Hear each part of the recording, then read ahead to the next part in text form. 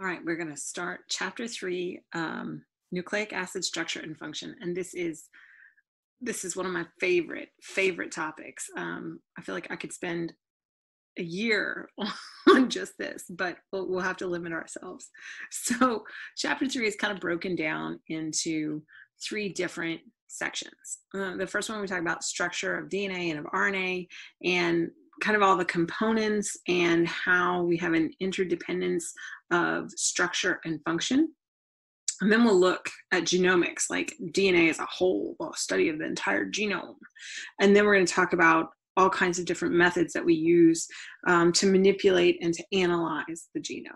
So I just love it, love it, love it, love it. Okay, so uh, let's start at the basics structure of DNA and RNA, right? We know that DNA and RNA are polymers that are formed from nucleotides that are linked together through our phosphodiester backbone.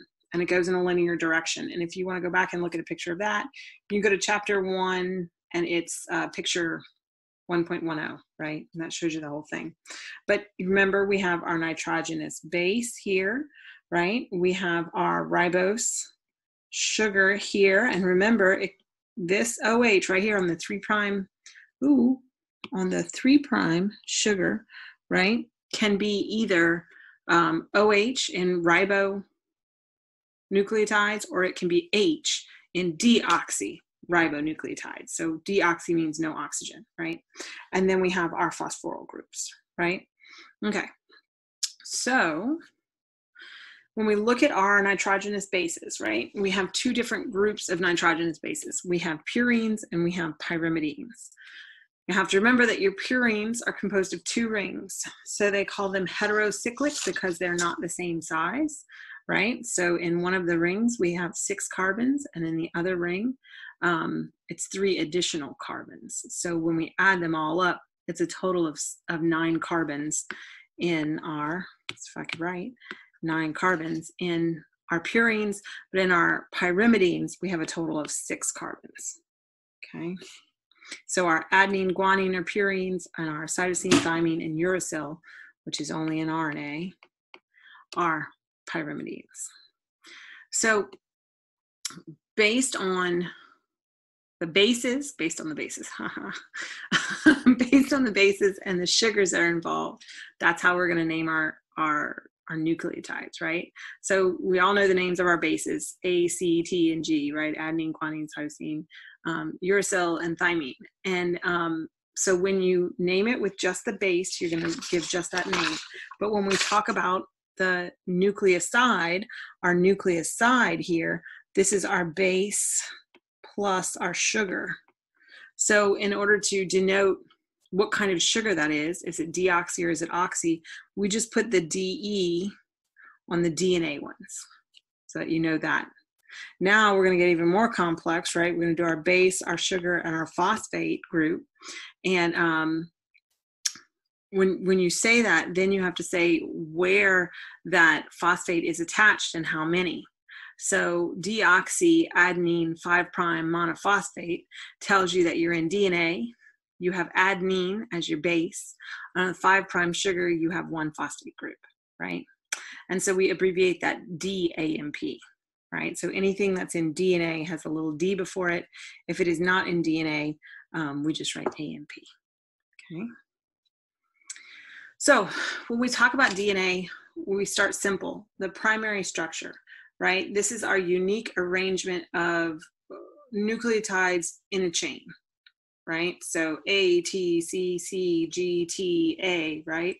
Um, we depict it as a single letter in a row, and we usually tell you the five prime and the three prime in. That's kind of a, an extra. So you're going to say, right, five prime to three prime, or three prime to five prime, whichever one you're saying. And we know that it doesn't exist in the cell that way.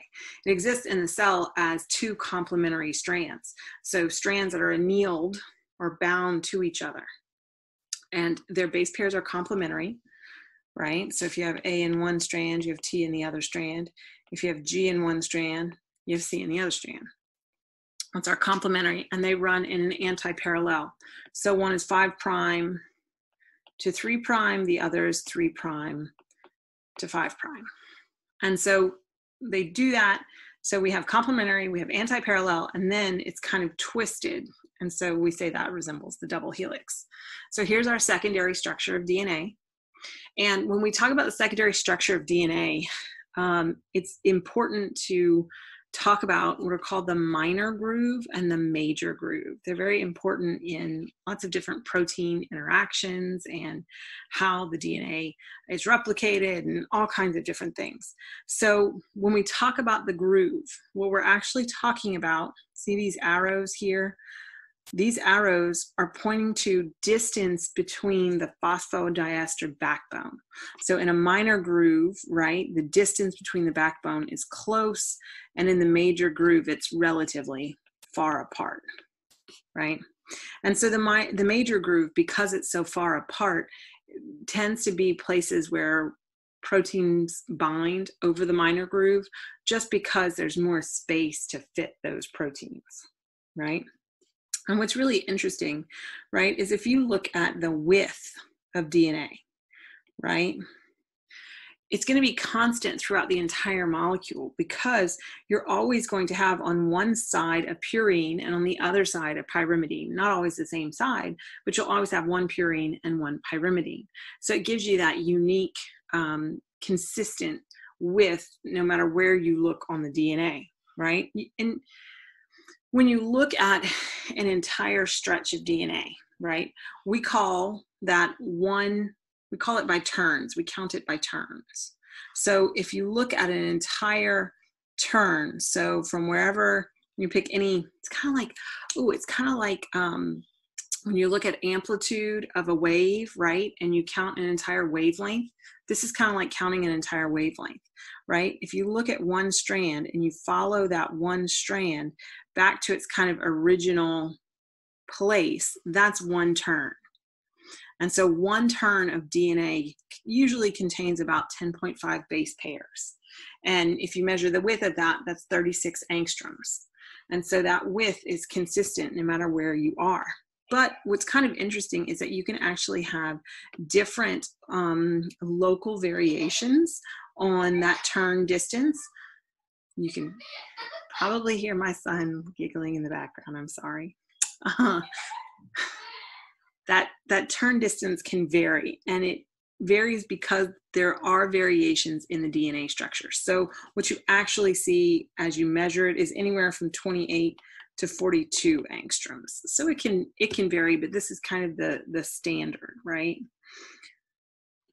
So that can't be the only structural structurally important part of DNA, right? Because we have to fit a ton of DNA into teeny, teeny, teeny, tiny cells. And so if you think about, right, um, if you were to to look at the length of DNA, like if you laid out DNA from end to end in a bacterial cell, right, the DNA inside of the cell is going to be um, a thousand times larger than the diameter of a bacterial cell. That's that's too much DNA to fit just leaving it as it is. So we're going to have to coil it up. We're going to have to fit it. Um, in a eukaryotic cell, right? You're, you're, if you laid out your DNA end to end, you'd be about two meters long. So um, you don't have too many cells that are two meters long, FYI. Um, so if you think about it, right, if you think about a bacterial cell, ooh, look, if I get on the white background, it works pretty well, right? What are you going to do to make this a little bit smaller? Well, you're going to kind of twist it. And if you keep twisting, I'm holding one end steady and I'm twisting, what you're going to see is it's going to curve. And then, I don't know if you can see it, you can see it starts to fold in on itself. And this is, this is more difficult than it looks it really makes me want to let go. But you can see it curls up in on itself and in on itself again, right? Until you can fit it into a very small area.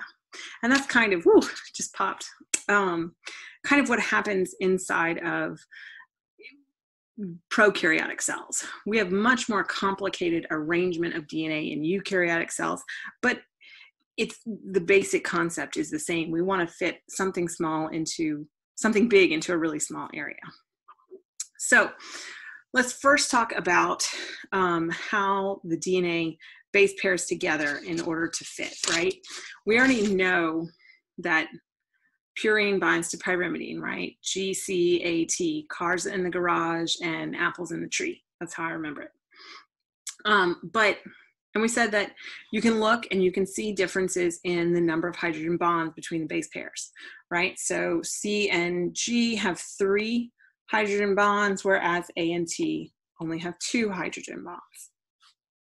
So what this really cool scientist, Chargaff, um, found out was that the percent of A inside of your DNA must equal the percent T. And percent G must equal to percent C. So that means that A and T must bind together and G and C must bind together. And so Watson and Crick, while they were brilliant, I will say they are brilliant, they took everybody's data and then kind of compiled it into one idea. So um, it wasn't their own data that they based their models on, which is kind of interesting. But science doesn't happen in a vacuum. But you know, you just should collaborate um, instead of stealing. but uh, so so they call these Watson Crick base pairs. They're not the only base pairs that are found, but they're the most common, right?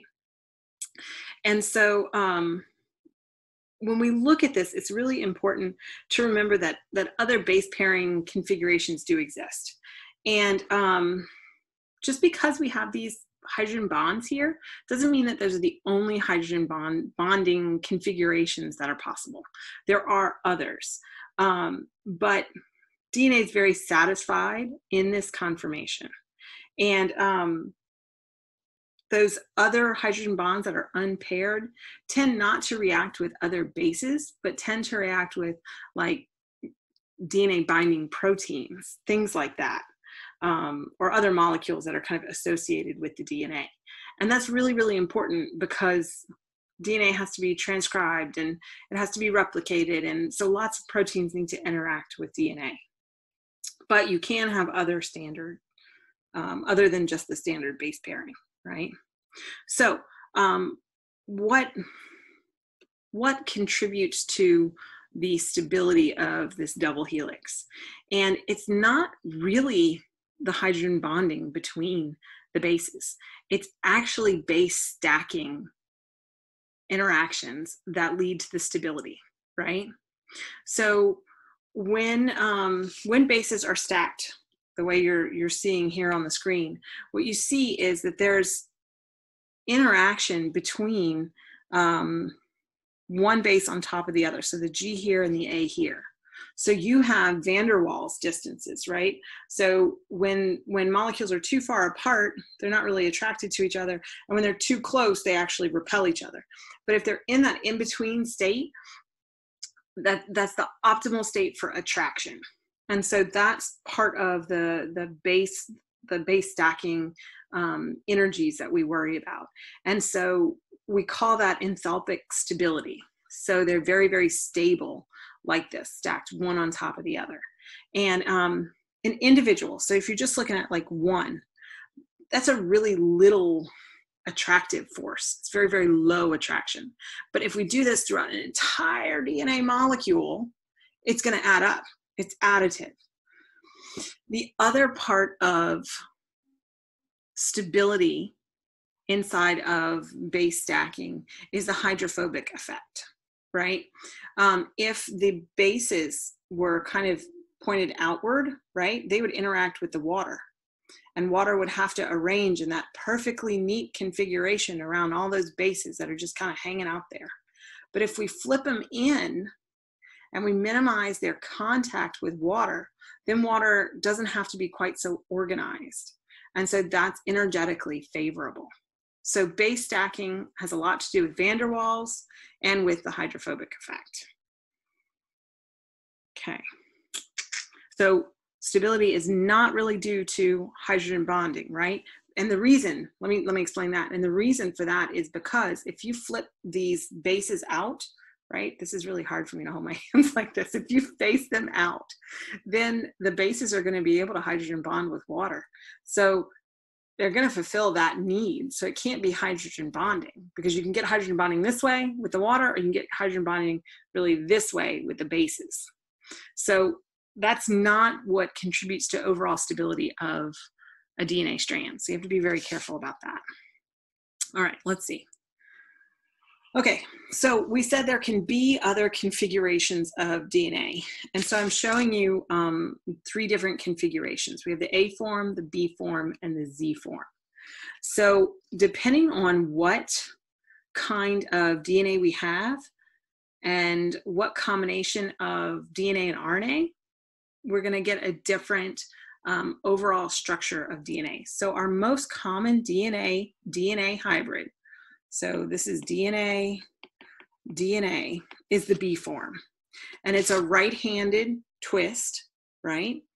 And this is like the Watson and Crick structure. And this is what we see commonly. But sometimes what you'll see is the A form where it's kind of short and squat. So you have more bases per per turn, well per distance, it's not really per turn, it's per distance, right? And so this is tends to be RNA, RNA, and um, DNA RNA hybrids, right?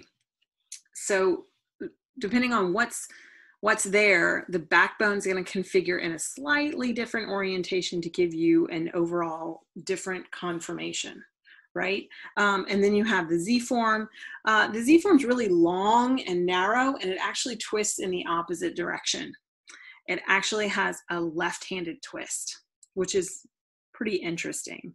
Um, and so if you if you look at these, right, our, our BDNA is our most common, most stable right-handed helix, right? Um, if you look for the A form, the A form is found in dehydrated samples, and this is initially where it was found.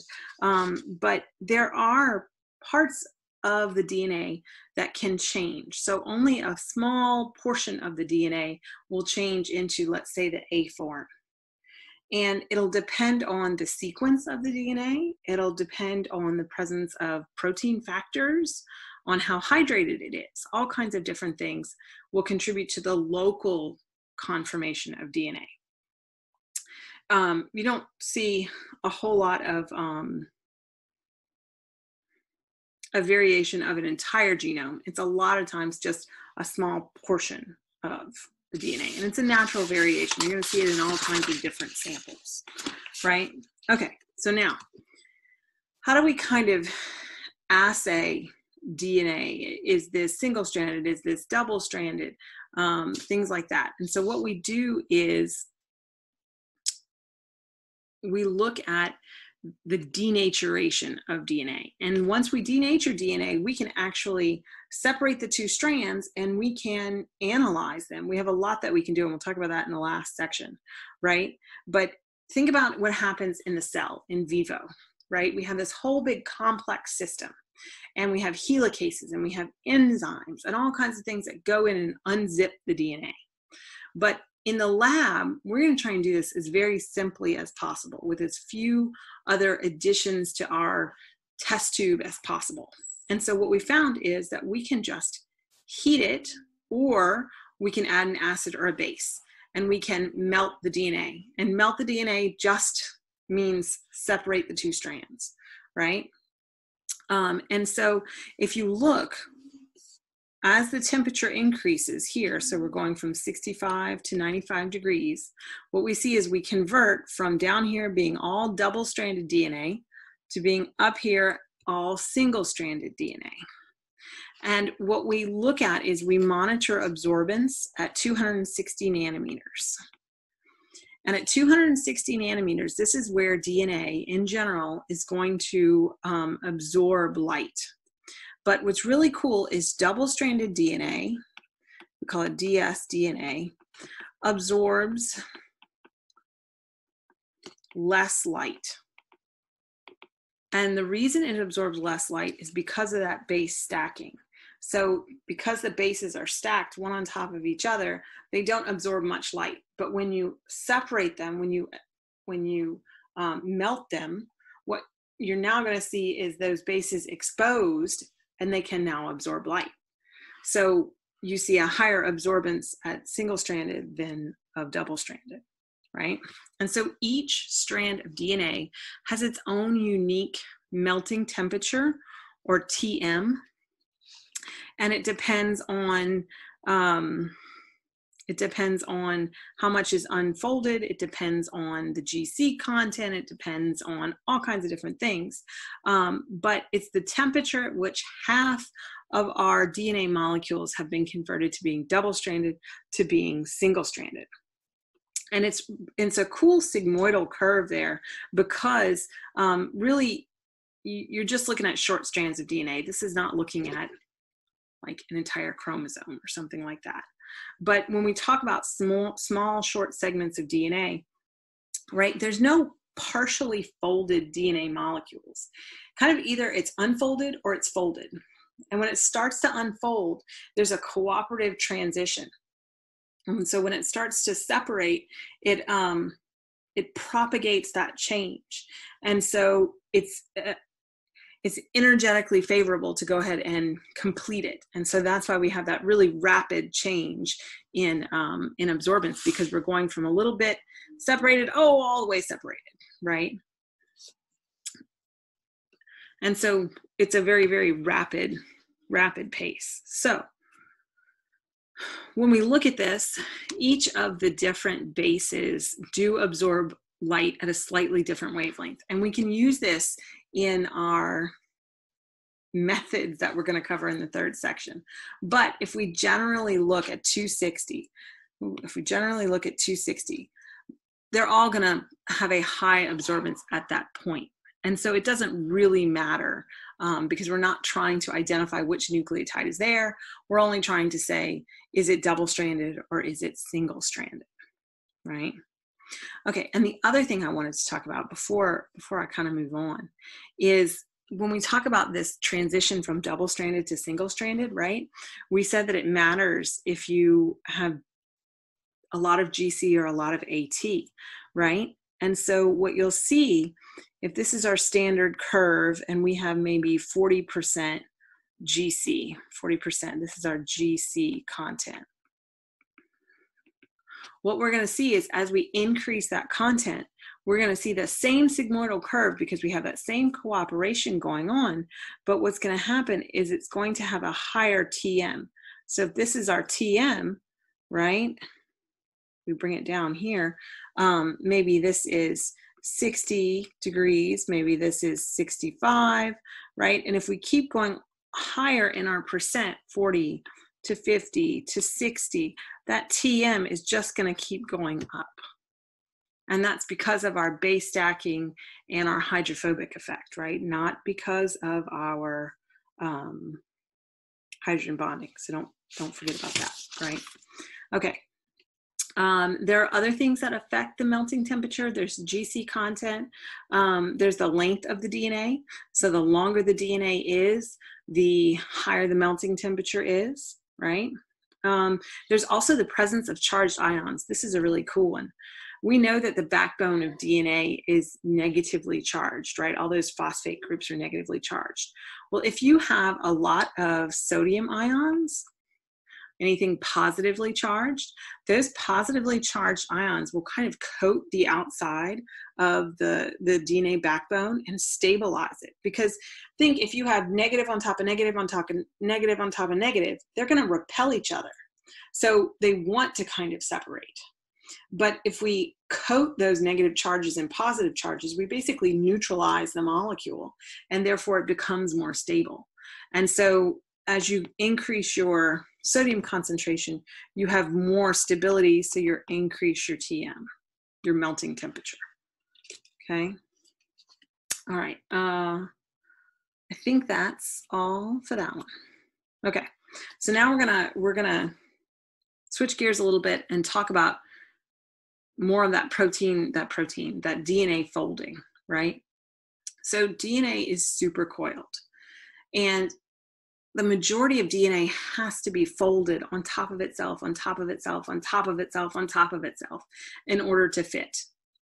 And so we call a supercoil a place where the double helix crosses itself. So if I have my rubber band here and just pretend that this rubber band is actually two strands of DNA and not one. If I take this rubber band and do this, that's a supercoil. Right? And we see supercoiling in both prokaryotes and eukaryotes. You would just have to kind of take my word for it that there are two strands in there. But this is one supercoil. And then if I can, it doesn't really work so well with a rubber band. I kind of have to hold it, but you could get additional supercoiling. So the more I twist that rubber band. So here's kind of a better illustration of that.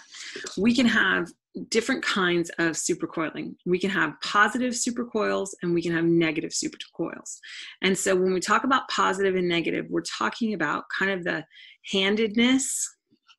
So if you look at the strand on top, the strand on top here is this gray strand, right? And so that one is pointing to the left. So a left-handed twist is going to be a positive supercoil. Whereas in this one, right, going left, that's the that's not the one, oops, the left one. If I knew my left from my right, that would be great. So my left one's not on top here.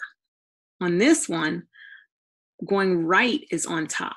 So right is on top. So a right-handed supercoil is also a negative supercoil.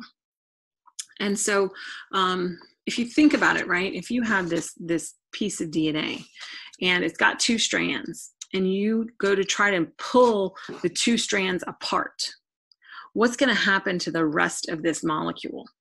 It's going to actually start to coil up because you're separating it up here. And that's what exactly what happens when we have transcription, when we have replication, things like that. And so this is what happens. You go from a relaxed piece of DNA to a negatively supercoiled piece of DNA, right? And so when we when we talk about this, it's important to know that this happens in prokaryotes and it happens in eukaryotes. We know prokaryotes have this simple circular piece of DNA. So I know that that's a prokaryote right there because I'm looking at a circular piece of DNA. But what's interesting is that the things that we talk about happen in eukaryotes as well because if you have a long strand of DNA, so let's say here's my long strand of DNA, right? And it's actually two strands. If I could twist a strand on top of this, and I'm not an artist, I'm really not an artist. But it's double stranded. You guys just have to trust me on that right? This is this is a linear piece of dna it's not circular but what happens is that this dna ends up being attached to different proteins within the cell so now we have this portion I'll highlight this portion right here of the cell that isn't of the cell, of the DNA. And it's not actually circular, but it's attached on two ends. And so it behaves like a circular piece of DNA. So the properties that happen in prokaryotes also happen in eukaryotes because they tend to be attached to something. They behave, it is a loop, but they actually behave like a circular piece of DNA. All right, so when we look at um, DNA, the way that we talk about how twisted it is, is we talk about its linking number. And so over here, um, let's see. Okay, we talk about twisting number and writhe. The twisting number measures the winding of DNA strands around each other. So think about this being the two strands of complementary DNA. And let's just say I have my DNA and it's attached on two ends, right? Okay, and I'm going to have a blue strand and a red strand. So if I have my blue strand, this is kind of like that wave thing, right? I have my blue strand and I have my red strand. And that's kind of terrible, but it's okay. what you'll see is they cross each other a few times, right? Well, what happens if we now have something sort of like this. What can you tell me about how many times the two strands wind around each other? So as we go down this way, we're going to increase our twist number. We're going to increase our twist, right? So let's do it again. Let's increase our twist. See if I can do this. Hmm, I hate that I have to draw on command. Okay. I'm not very good at it. Here we go. See if we can make this beautiful. Uh, it shouldn't be quite so pointy, but that's okay. So what you see is the, the twist increasing. So our linking number is a combination of the twist and a combination of what's called the writhe. So here's the writhe. The writhe is, um, see this circular piece of DNA here in B, this one right here? This one has a writhe of zero. A W, let me see, WR, a writhe equal to zero. Okay? And when we do things to it, like we change the twist, what's going to happen as a result is that we're going to change the writhe. So if we separate this piece of DNA and like right there, we want to separate the two strands so that we can transcribe a gene that's on the inside. What's going to happen is we're going to change um, the writhe. And so here's the writhe. The writhe is how many times they cross over each other. So this has a writhe of three. I can't tell what the twist is. Um, you would have to be told how many uh, bases per turn and then how many bases are in the total strand. And I'll show you how to do that. But it's important to, to know that the writhe is taking your rubber band, right, and having a writhe of zero, and now I have a writhe of one. Okay. And so the linking number is always going to be a combination of the twist and the writhe. If you increase the twist, you have to decrease the writhe. If you decrease the writhe, you increase the twist. And so it's a each unique piece of DNA has its own linking number. And you can change the twist and writhe, but the linking number is always going to stay the same. So here's an example. We're pulling, we have this, this circular DNA. I'm going to pick this one little piece. Let's see if I can do a different color. this one little piece of DNA right there. We're going to pull them apart. And when we pull them apart, what happens? We go from a writhe of zero to a writhe of one, two, three. Right? And so if you you you can when you pull the two apart, what you're actually doing is decreasing the twist because they're now not overlapping each other as much.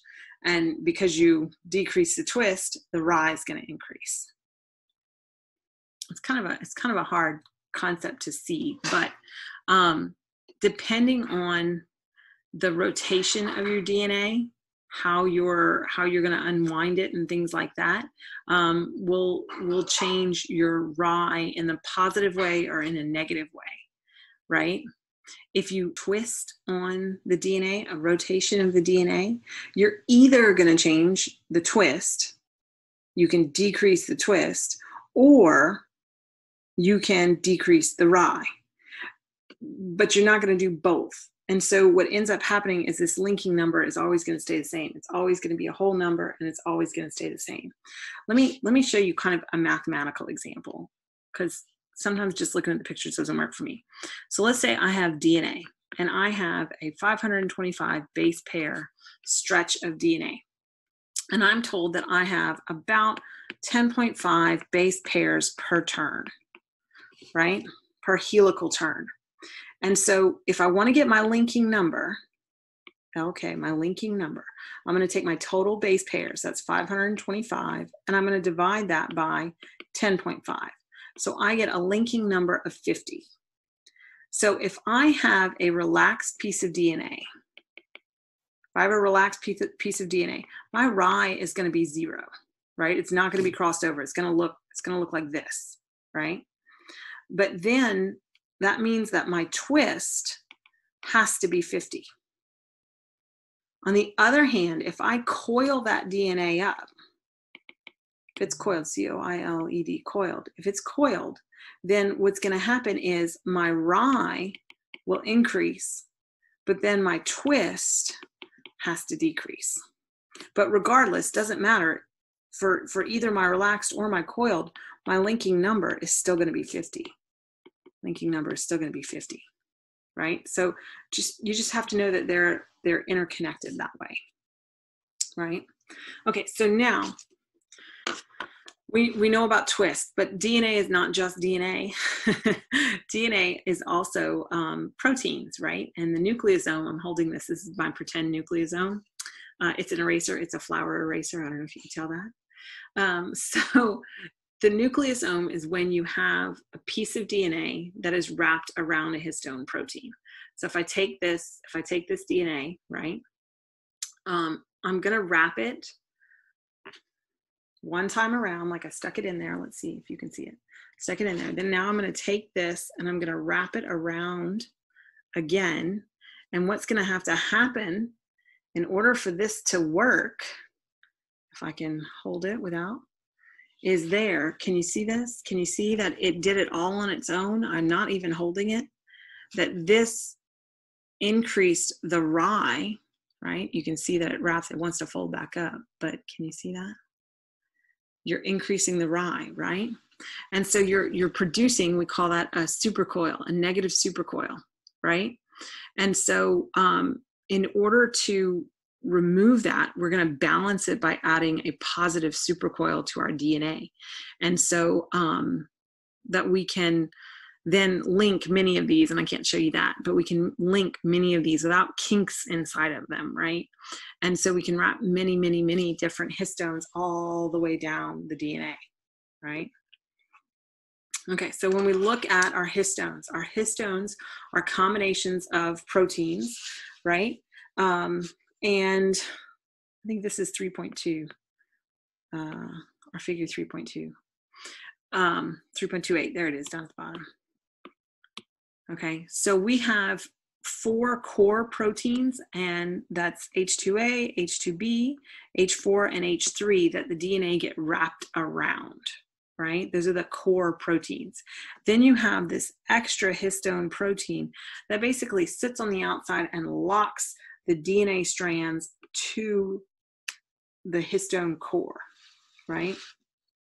Um, and so the reason it's really, really important um, is for condensation right we want we want all this dna to be compact but we also want to be really easy to undo so that we can get in there we can replicate we can transcribe we can do all those things so these histones bind to the dna in a very non-specific way um, it's not that the histones are looking for a particular sequence um, they just kind of fit in there and the dna wants to wrap around them right? And so, um, what else do I want to say about that? Oh, and and so anytime we want to go in and go through transcription or we want to go through replication, um, we're going to use an enzyme called topoisomerase. And topoisomerase um, is something that allows the DNA to change its supercoiling. So if we want to add a positive supercoil, things like that, then we need to use enzymes, right? And so this is our topoisomerases. Topoisomer, and there are many different kinds. But in order to remove supercoils, right, I can't remove a supercoil from this rubber band unless I break the rubber band.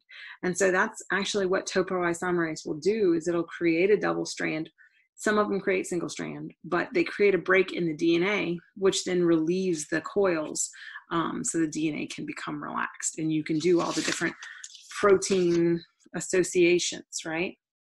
So our topoisomerases are enzymes that relieve the positive supercoiling through cleavage and reannealing. That's really important because you don't want to leave a break inside your DNA that is asking for trouble. Um, and the whole point of all of these, whether you're talking about type 1, type 1 cleaves only one strand of DNA, type 2 cleaves two strands. And because the type 1 is only cleaving one strand, it can only reduce the supercoiled region by one turn. But topoisomerase 2, because it cleaves both of them, can actually reduce the supercoiling by two turns. So if we look, and I don't really like this figure because it's so hard to see, right? But topoisomerase one, here's your here's your first strand, and you're only creating a single stranded break there, right? And so with this single stranded break, here's the same break, right? We can pull this strand right here, We can pull this strand basically through the gap. And once it's pulled through the gap, then this was our original, right? Here's our here's our blue strand that got pulled through the gap. And then, I think it was this color purple, right? This color purple strand needs to be reannealed. And so we can we can um, reduce our supercoiled region by that one turn. But type 2 topoisomerase, what it's doing, here's one strand, right? And there's a break. And here's our second strand. Why they did these all in gray, I don't know. Here's our second strand, right? And so what happens is we create a double stranded break. And when we create a double stranded break, you got to think that this DNA molecule is really long. And so it's all the way out here, and here's another piece of that same chromosome, right? And so we can pull another portion of the DNA through that break, and then we can religate that DNA. And so it's a whole nother double helix that passes through that break and then it's rejoined. So this is why we can reduce the supercoiling twice as much because we're bringing two strands through instead of only one strand through, right? So our topoisomerase 1 is basically going to create a region of negatively supercoiled COIL coiled DNA, right? Um, whereas our topoisomerase 2 is actually going to yield a section with no supercoils. C-O-I-L-S coils. Why can't I spell that? I don't know.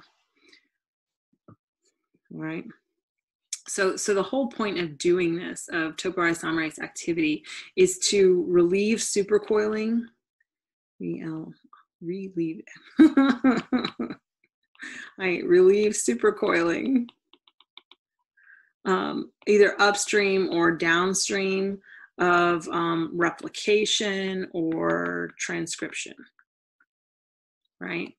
Because as you pull two strands apart what's going to happen is you're going to have that coiling happen behind it you're going to change the writhe right?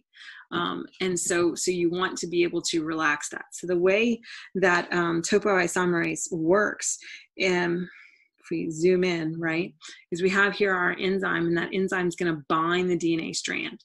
And it's actually going to first um, here it's going to bind that dna strand and then it's going to break the first strand of dna right and then it's going to bind our second strand of DNA.